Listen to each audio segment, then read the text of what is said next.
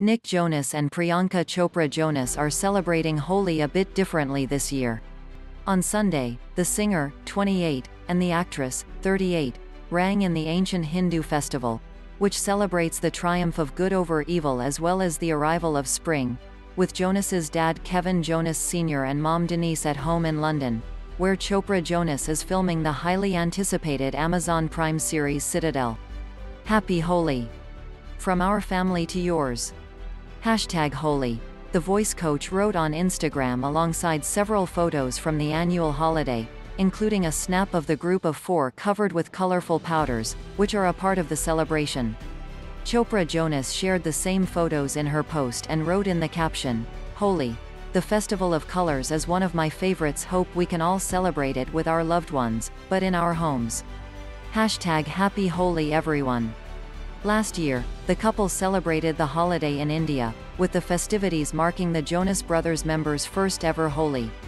Similar to this year, the group posed in several photos while covered in colorful powders at the time.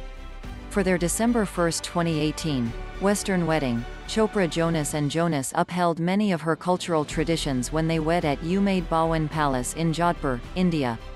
The following day, they wed again in an Indian ceremony at the palace.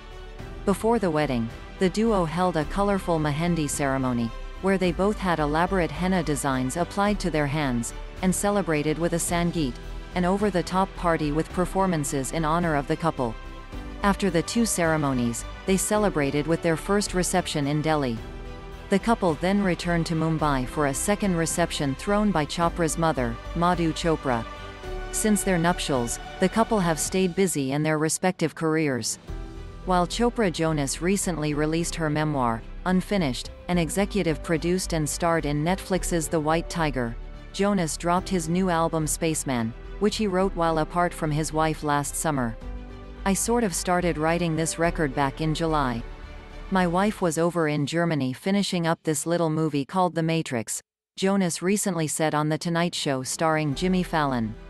And I was like, you know, I feel very disconnected from the world, first of all, and now my person. And I just dug in writing. Within a couple of days I was like, oh, this is a solo album. And a few days later I was like, this is a kind of themed album. Jonas also said during a recent conversation with Apple Music's Zane Lowe that his wife, loves, his new album. Most of the songs are pretty much just love letters, which when I can't articulate the way I feel with my words with no music, I go to the studio, the singer said. And I'm grateful to have that because it makes her happy, and that's most important.